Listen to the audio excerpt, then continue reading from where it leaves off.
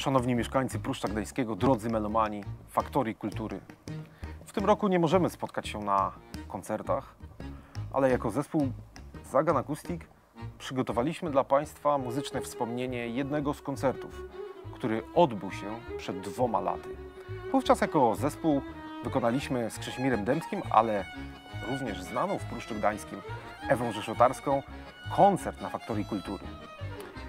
Tle usłyszycie Państwo muzykę Krzesimira Dębskiego, utwór skomponowany z myślą o naszym zespole, zatytułowany Bojan Duke of Dingats na skrzypce, akordeon i kontrabas.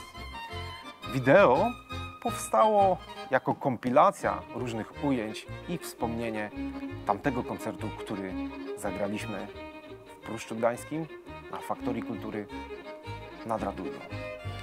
Pozdrawiamy Państwa serdecznie i mamy nadzieję do zobaczenia wkrótce na koncertach. Do zobaczenia.